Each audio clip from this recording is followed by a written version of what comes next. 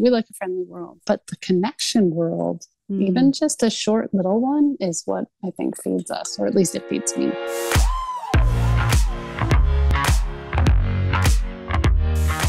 Self leadership can be lonely. It's hard to do the thing no one else wants to do, that no one else is willing to do. But you are not alone.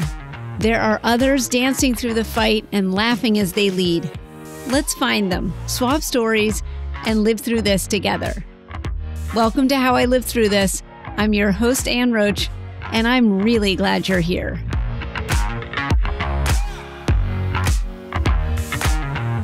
I am so excited to welcome my dear friend Jodi Pickering to the show. How is it possible to describe all that is Jodi? She is a lot of things to a lot of people. She's a longtime educator and administrator, currently with AmeriCorps, a mother to an amazing young woman, a sister, a great friend, and one of the most positive people I know. She is also the person I call when I need to figure out how to say something hard. She is an exceptional listener. She asks questions that get to the heart of an issue within seconds. And she asks questions that look around a corner I didn't know existed and which stand in a truth I could not see.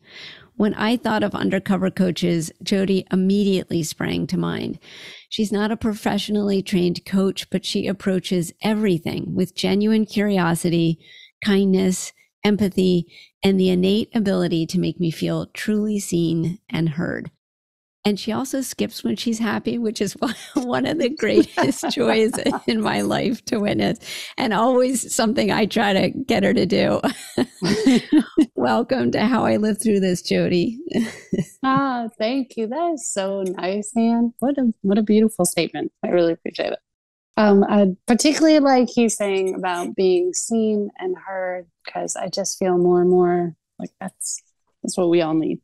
Yeah. So thanks. I'm happy to be here. Oh, I'm thrilled to have you.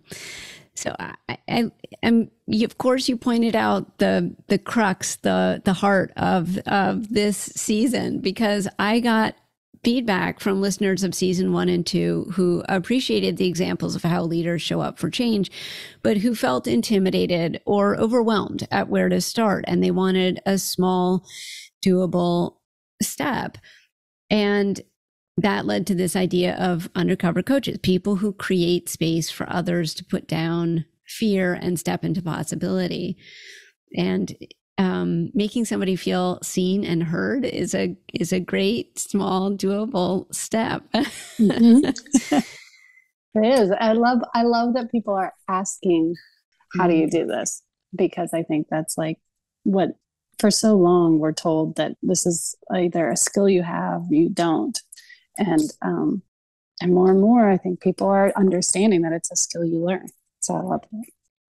yeah how did you learn it? Um i got old. A lot of i mean really part of it I, but i think i think it's different for young people today. I think they're learning these skills earlier. I know i was certainly teaching them by the end. And i started my teaching career and if you got into trouble, you got a, you know, a reflection, which we thought was like really progressive. That you had to stay after school and write a reflection. We didn't just call it detention. Um, but there's no conversation there, right? Now, now teachers are trained in how to do restorative justice, and so that both parties have to talk and they have to listen to each other and um, be seen and heard. So I think part of it is that the times are changing, and I was lucky to be um, in a profession where a lot of professional development was afforded to me, and I could um, could take advantage of it.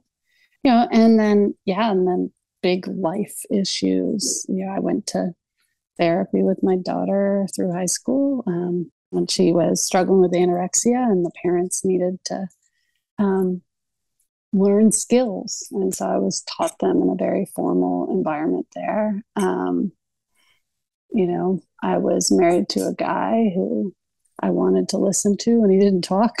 so I got a lot of practice there. of trying different things. No, I don't know. So really, a lot of it is is um, just life experience. I, I, okay, I have to ask you. Can you give me a takeaway from the what you learned with your daughter, and then what you learned with your ex husband? Sure. Well, um, okay, okay, yeah. So one is um, the the three most important phrases or three most important words you can use are "tell me more," um, and it's just amazing. Like, so that was from I think working with Sophie and um, with her her therapist, and they were saying just slow everything down. She wasn't really allowed to do anything. She was angry. So just here and there, tell me more. And she wasn't going to. She was. It's anorexia is a really private thing, and and um, at that point, she wasn't able to. But it became a pattern, and then I just saw I used it in my in my regular life, and um, around the same time, I had a student who was really struggling, and his name was Lucas. And I just can remember one day, like, just he was just talking about his frustrated feelings. I just said, Tell me more. And he ended up confiding that he was a girl. And, um, and so then I started calling Lucas L. And then L, you know, transitioned in eighth grade and is now Lacey. And um, actually, it was just on an ESPN Title IX video because she's one of the top girl gamers in the country. So, uh, you know, those three words are super, super powerful, but they're also just really fun. I realized I, like for so long, I would, um, for a long time, I think as the youngest, I would uh, talk about me all the time, right? And here I am talking about me, so it's kind of ironic there. But um, at any time somebody said something, I'd be like, but me, me, me, you know, pay attention yeah. to me. And I had lots, I wanted that attention. And then as I got older, it was, I think, my way of connecting or trying to. So that if somebody said something, I wanted to say, oh, yeah, I can connect to that. I have this too. And, and, college graduated from college and my closest my college roommate and i drove to texas um, to where my parents lived and then we were driving to dc to move and while we were in texas I discovered uh, like a letter she was writing to another one of our friends about how tired she was of hearing me talk about myself. Okay, I shouldn't have been reading that letter.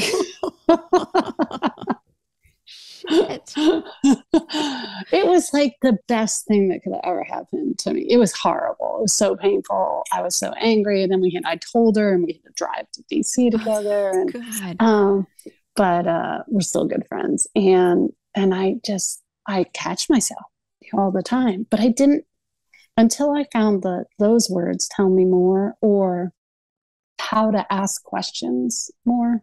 Um, I didn't have the skills to connect, and that's what it really was about was connect. Mm-hmm. I didn't really care about sharing my story, and it's way more interesting to listen to somebody else's. Oh my god, I love that. Okay, you you brought up how to ask better questions. Can you can you go there? Can you tell us that?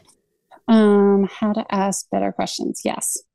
I don't know if I have an easy answer there. I mean, if you can ever get trained in clearness committees, Quaker schools and Quaker education, the idea there is if you have a hard decision to make, you get a group of people together and all they do is ask questions and you answer them and then they reflect back what they hear.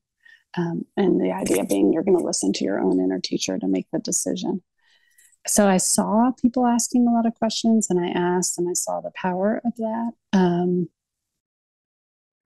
I have to just. Well, if I'm good at it, yeah, jump in. Yeah, I have to jump in there because that is how I was trained as a coach. And what I notice a lot is that when people ask questions, they often ask questions with an answer. It's a it's an answer hidden as a question. I am guilty of this myself. Like, what if you yes, how would it yeah. feel to um, right, exactly. yeah or um, have you tried to and then i give my solution that's the yes. other thing is oftentimes people's questions are solution based or or responses to um, mm-hmm. uh, you know a, a problem are solution based Yeah. And I love that idea of truly asking questions to get at the heart of what the problem is. Yes. Or not even the problem, just to get to, sometimes it's just to get to the feeling. Um, you know, I did a clearness committee um, right after my daughter went to college, and then my husband decided he didn't want to be married anymore, and I had been at my school for 12 years. And um, so, what do I'm going to do next? And um, I, so I did one about whether I was going to quit my job and I was going to join AmeriCorps and do a year of service, and uh, just kept finding myself whenever anybody asked me a question about the school, I was kept crying really hard. And by the end, I was like, I know I'm crying because I'm saying goodbye to this place. I'm just ready. Um, but it wasn't, I didn't need an answer. I just, I needed the feeling.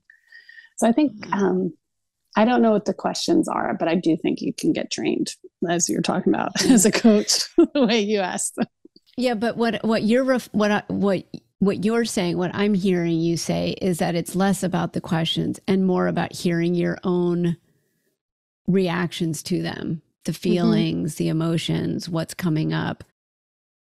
Well, no, I mean, yes. And I mean, that's what I needed from it. But I think the, the skill part, the listening part was, was about the questions. And it was about, I remember one person said um, something, you know, do you, do you feel, when you think about both options, do you feel regret at all?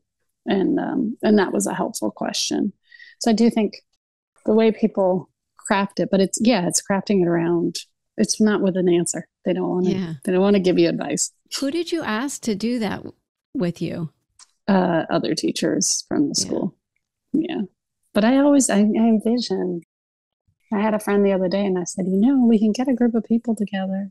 It would be cool if yeah. people just did it on their own. I love that idea because there are p- people in one's life, I'm assuming this is a general truth for most people who who do ask good questions or who who can who can ask you can ask you something that isn't about them mm-hmm. and you know just having sort of like a, a board of directors or a what is it called you said a clearness committee a clearness committee that is how do you clear the way for what is truly important that's brilliant oh, i love it so that's part of it. I mean, that's that's the Quakers. they know what's going on. Yeah, yeah. They were they were here before um, coaching. That's brilliant. Yeah. Can you give me a tip on how to how to ask questions to somebody who doesn't want to talk? I, I got a, I got a You are so good at getting people to talk. Uh, you are so awesome at it. I can't imagine. So, some um, people, some people, some people really don't want to talk. yeah. Oh, hold on. I'm sorry. I'm going to interrupt myself there because I'm recognizing as I'm even saying that that the reason some people don't want to talk is because they feel very vulnerable and mm-hmm. and sharing oneself and making a mistake or feeling like you you're saying something that might sound different than the way you intended it to or that you say something that might feel like a mistake or you know that can be very vulnerable right. for people and so um I'm gonna just I appreciate you even saying that because it's given me the the recognition that you know people are hungry for connection, but that might stand in their way of of connecting, being open, being vulnerable. I think that's true. And, you know, I think you can, um, for people who are, who are more reticent, this is like, this is, I, you know, you do it with toddlers, but I think you can do it all the way through adults. It's the either or question, right? Like, you've got to get clean. Do you want to, um, wash your hands in this sink or that sink so that they feel independent and can make a decision. Um, and if you're with someone who's particularly reticent, um, you know, I think sometimes you can say things like, "Do you want me to ask you any questions? Do you want to sit in silence? Do you want to?" Um, you can go ahead and, or I don't know. I don't. I don't meet a lot of reticent people, really. I, you know, I, there are definitely people who are more comfortable in groups, more comfortable. But yeah, I do find one on one, most everybody has something to say. Like, you know, it's just creating the space for it. Yes, which you do so well. I don't know. And then, all right, I'm going to share another. This isn't really the same. Somebody has to talk for this to happen. But another thing I learned was that, and you do this all the time, um, is when you say, like, it's kind of checking back, right? Like, what I heard you say is this, is that right? Um, and that's so useful. So I was walking, I, I pick up one of this student friend of mine, I pick her up every Thursday. And she just switched schools. And so for the first time, she's in a school that's predominantly white. She's black, and um, the administrators are white. She's feeling mad at everybody. Um, and so I can't remember exactly what I said, but I said something like, It sounds to me like you're feeling this. And she was like, No, I'm not. and then she went on and on. And so then when I could say again, Oh, so are you really just feeling this? And then she was like, Yes. And we laughed. And then our conversation shifted and we could just talk and discuss. But that's a technique that I did not have when I was starting teaching and um, could have been like I don't I don't even know. You probably know this, but I was sued for like three years when I um, was dean of students in Pennsylvania by this angry family. And I think if I had had not just me, me, the whole school, but if I had had um, that, even just that skill of mm. during our meetings being able to sum it up, and I find with like unhappy people um, or frustrated people, it really helps always to sum up in threes um, because then they feel like you're really listening closely. It also helps me because I have attention issues. So if I'm sitting there and I'm mm. saying, I have to say three things back to this person, it helps me mm. pay attention more. Yeah. Um, and so I'll say, like, okay, it sounds like you're frustrated by the requirement that, you know, they have to you know, hand in on Google Classroom, and then you're also feeling like it's hard to talk about it, and then you're feeling like I'm not very approachable. It's you know, whatever it is, those having threes is kind of magic when people are unhappy. I don't know. Yeah, that's really interesting. Yeah, that. It, so I do do that a lot, except I do have to pay careful attention to I think the the piece that you added at the end is that accurate? Asking, you know, is that accurate? Because I find, and I find this as a coach too. Um, uh, you know, well, it's I find this as all of the things that I am a former attorney, somebody who, you know, is always looking for solution, you know, uh, like I am fast, I'm efficient, I want to get to the, you know, the, the answer it's kind of my former self which is sometimes at war with my current self which is you know mm-hmm. exploration mm-hmm. and open and um, it's not about me and so that um, you know that tension between being right and saying okay we got it now let's move forward versus here's what i'm hearing from you how accurate is that so that right. it really is a true reflection that's a gift to the speaker because they can hear what they're saying and whether that matches up with what they're feeling. Yeah. Yeah, I think it's really powerful. And, and when, when somebody does it to me, you know, I just, again, it goes back to the way we started. You feel really seen and heard. Like, yeah. even if they're getting it wrong, you're like, oh, but you're in it with me. Oh, uh, yeah. That's good. yeah, that's really good. I get kind of I get kind of pissy when I hear somebody say, "You sound really something," and it doesn't feel right at all. Mm-hmm. And I mm-hmm. I sometimes get well, I never like to be put in a box, so I so I'm I'm the worst person to coach because I'm always like, yeah, I'm like water. I'm trying to find the way out. coaches but there's something in what clients. you just said. You saw what you just said, and that's the word you sound. I don't know. Mm. There's something. It's like telling someone they look tired or whatever. You, yes. you sound this way. It's just like no, I don't. Like I don't want to ever listen to this podcast because I want to hear my voice. You know, like I want you to tell me how I sound. Oh, I love I that distinction.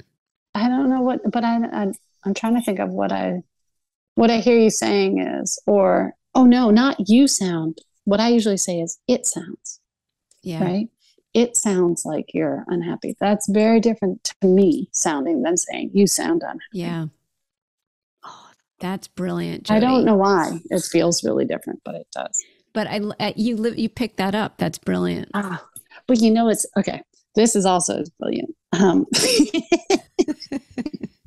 And then we have to do a Oh. PSA on just for everybody, the general public's understanding. Never, ever, ever, ever, under any circumstances, ever tell somebody they look tired. Ever. yes, Ever. ever, Just ever. never, ever. ever, ever, ever. It's a, it's a Like- shit thing to hear always. I know. And it's not even it, it's not even really great to say, Are you all right? Just say, How you doing today? Yeah. Let them come clean or not. Right. Somebody has big bags under their eyes because they're having menopause and sweats at night. think They, they know don't they know look it? like shit. Or they didn't know. And why are you bringing them down? That's true. Yeah, I didn't look feel tired. Now I do. I'm annoyed. No, not Yeah, only am I tired, I, I, I know I look terrible. Thanks. Sorry, that was a Oh, sidetrack. No, no, that's our actually your sorry is a good segue because I don't know what you said that made me think, but I'm thinking about how um, the things that got in the way uh, in my marriage early on, which I thought we had kind of overcome, but we so clearly didn't. We just, you know, instead of talking, buried things. But it was the sorry but Mm, uh, and you know when there any sort of conflict or something um, i could apologize. Um, actually even that took me a long time. My family was not a big apologize big into apologies. But um, i learned to apologize and then i always and it's still pretty recently and probably still do would need to say but i was just trying to do this. Right. i was just trying to do that. Um, which just totally negates you know the apology.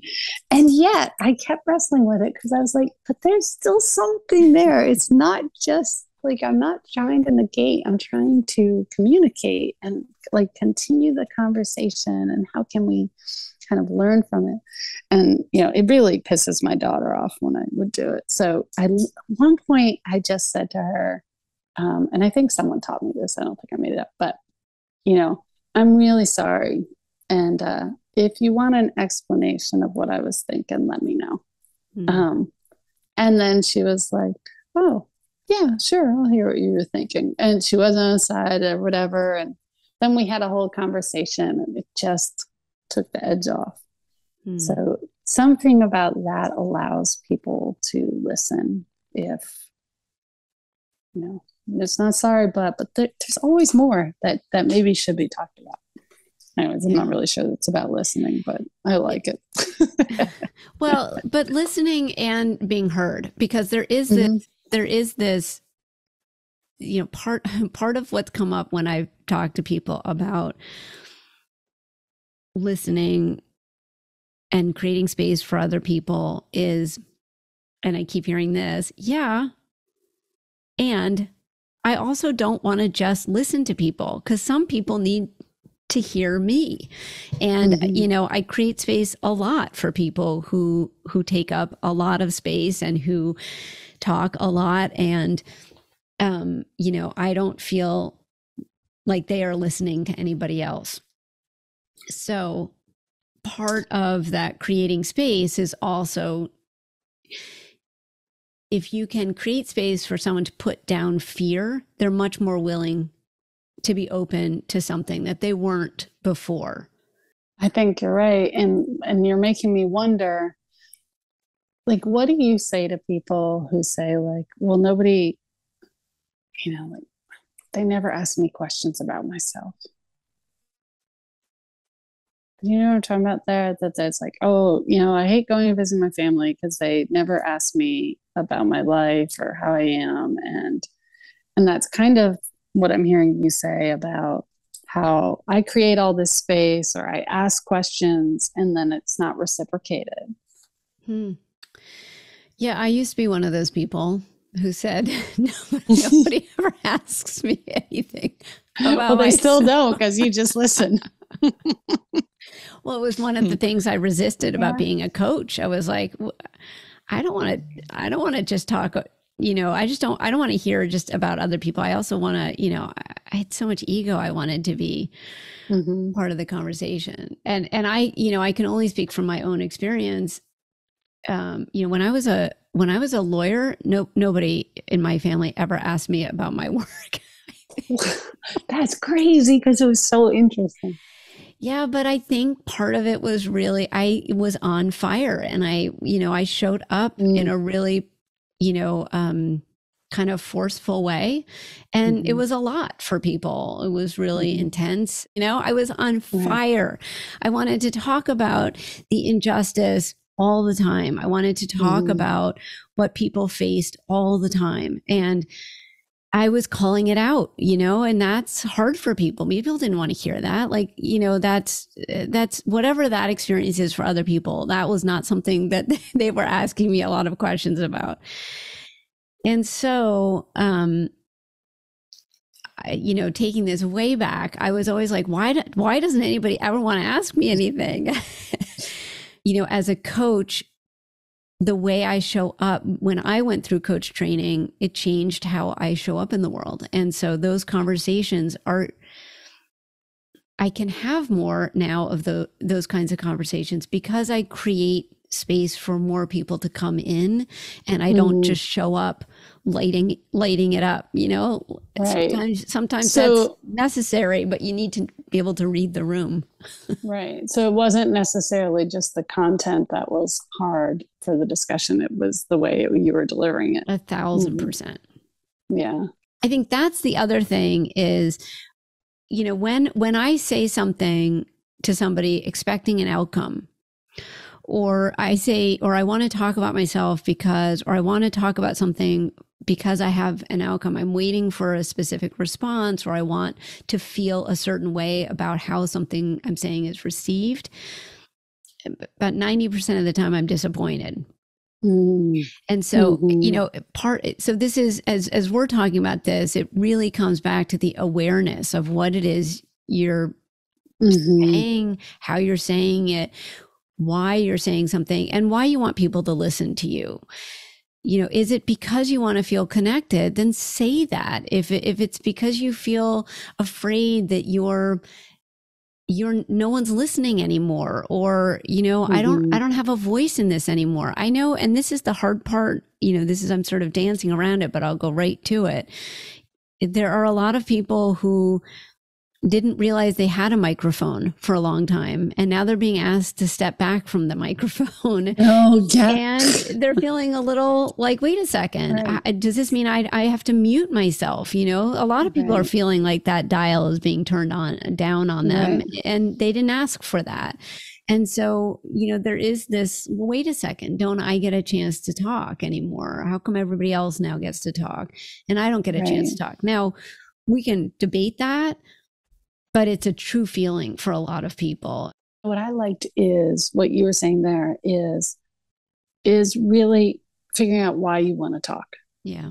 Um, and you know that you, you said in a couple different ways. You said when I'm looking for an outcome, um, then I'm I'm disappointed. And I think back about times where like I was proud of something, and so I share it because I'm I'm uh, but I was looking for affirmation of yeah you should be proud or I'm proud of you back. Yeah. Um and and yeah, 95% disappointed. But if you could say like, "Hey, I'm really proud of something. Can I share it with you?" like then like they're they're know what they're they're looking for. Yeah. And what you're doing is you're saying, "I want to yeah, share it." So those people who are anybody who's worried about hey, your voice is being tamped down. I think it's just a question of like, well, what am I, what am I feeling the need? Is is it feeling like then I don't connect to people? Well, then how do I connect? Yeah, I listen and and say yeah, listen, and also saying what you're feeling. Like actually, you're you're uh, I know we're only using the audio here, but your whole face changed when you said, I'm really proud of something. Can I share it with you? Like you lit up. And, you know, there is, it's hard for some people, but I think saying, I'm really afraid of something. Can I share that with you? Or I'm really excited about something. Can I share that with you? Because then it is not necessarily, you're not just conveying information, you're really talking about feelings. And whatever you are feeling, whatever you are feeling, you can guarantee if you name it, somebody else has stood in that same current. And that's mm. how you mm. connect to somebody else. I love that. I love that you particularly use current there since you described yourself as water earlier. Hmm. You're really good listener. That's interesting. That's interesting. But I am also imagining myself every day coming home to somebody going, I'm really proud. Can I tell you something? so I suppose there has to be space for them. I mean, that's the thing. It was I was thinking about some of these phrases as when you told me you wanted to do the podcast. And I was like, okay, what are some of the things that I've learned that I now use naturally and, and don't feel stilted? Because I think some people are so resistant to using specific language, yes. right? But but I was trying to imagine it, like it's ridiculous that the the the check cashier person at my local supermarket says how you doing every time to me like she does not want to know how i'm doing really every now and then i answer in a real way but like it's just perfunctory but i was trying to imagine if i just showed up she didn't say anything and we just exchanged it, it would be a totally different uncomfortable vibe. And so i feel like and that doesn't even i don't know that's not even really inspiring true connection but it has some connection. So if you can ask if you can say something like tell me more mm-hmm. just because you learn that phrase and all of a sudden it opens up a bunch of doors we shouldn't feel embarrassed about using it. It shouldn't. Well here's my example of the the how you doing i want to live in a place where people say hi to each other i want to live in a place where i we smile at each other so i do that and I never pay attention to whether somebody smiles back or says hello, because that's not the point. If I want to live in a place where people say hello, then I say hello, and bam, I live in a place where people say hello. Even if it's just me. I am so glad you said this because my student friend and I always says, she's like, Miss Jodi, you are too friendly. You like, just, I'm going to take that praising and I'm going to spout it out next time she says that because it's yes, not about the right. outcome. right. There's no validation I need from other people who who smile back. Maybe you didn't see me. Maybe you don't feel like it. Maybe like has happened to me. You're somebody close to you has just died and you just are like in your own head or maybe you're going through your own shit and and you don't feel like smiling. That's not the point. The point is I want to live in a world where people are friendly. So I'm friendly and I live in a world where people are friendly. It's my own world. And you know, you get a smile back, that's great, but that's not that's not the point. No, and but you're extending that whole way of being to your life. You want to live in a world where people listen and so you listen. You want to live in a world where people like make share good ideas. So you're creating this podcast. You want to live in a people like that's just how you live your life. You just do what you want to see. Love it. And that cashier is lives in a world where people care and ask, "How are you doing?" And sometimes, you know, like she's asking she, that, you know, that's for her. Maybe more mm-hmm. for her than it is for you. Yeah, maybe.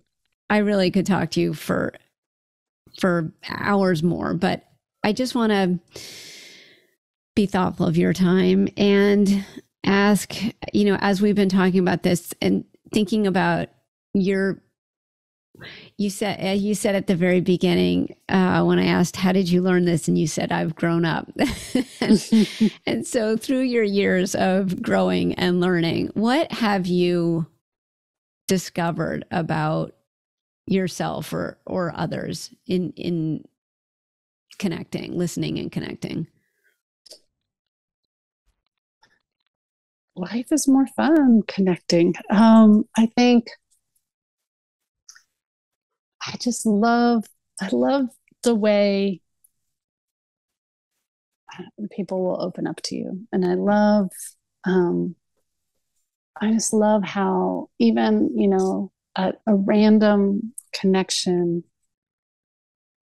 you know, standing in line somewhere or watching a sporting event and you're in a seat next to a stranger and then you connect. And if you ask the right question you end up having kind of i don't know a legit conversation. And and during covid they studied this some right? And i forget what they called it. They call it casual connections. They were saying like that was kind of the it wasn't that people were losing their close friendships they'll talk on the phone. Like we'll finish this conversation here. We know we'll talk for hours again another mm-hmm. time like that's but it was the kind of daily interactions these kind of casual collisions. I forget what they call them but it's mm-hmm. like just that you collide with people. And you know, we want it more to be that hi, hi. We like a friendly world or the goodbye, goodbye. We like a friendly world. But the connection world, mm. even just a short little one, is what I think feeds us, or at least it feeds me. So I love that. And mm. uh, so, of course, it makes me wonder if you have a connection question that you ask people. But also, I think people are so I so put a pin on that one because I want to know that. But also, mm-hmm. people are afraid to, to make the first move. There are people who are afraid to make the first move. It feels too vulnerable, or they're worried everyone is angry and they don't want to be, you know, they don't want to get, they don't want to be misunderstood or get kind of, um, you know, shouted at. Do you have a question that you ask? What's your advice there? Don't have a question because usually what I ask, I'm genuinely curious about. What do you want listeners to take away from this conversation? Hmm. That it's a that it's. I think it can be learned. If you feel like, and I I would say, for a lot of my life, I was not a good listener, and I think I even resisted people telling me I was a good listener. But then when you realize, oh wait, there's people who call you to talk about things. they must like talking to you and think you listen. But um yeah, and and so I think, you know, you can read books about it. I took courses on empathetic listening for my job and it's a skill. It's not something you're born with. And I think if you think you don't like listening, which I didn't because I was so easily distracted, um, that that also you'll find that you do. Awesome. Awesome. Well, I have to say I'm I'm kind of relieved to hear that you were not you consider yourself not a good listener for most of your life because I feel the same way about myself, but I would have never guessed that from you. So it gives me hope that yeah. I'm not alone. it's because you didn't ask me the right questions. I know. Well, it is true. We've talked about a lot of stuff, and I'm still discovering stuff about you. So, because you usually ask me more questions than I ask you. oh, hush, we take turns. We take turns. All right. Well, thank you, you so much. It's Jodi. been awesome to be here. Thank All you. Right. I love thank you. you. Okay. All right. Bye. Bye.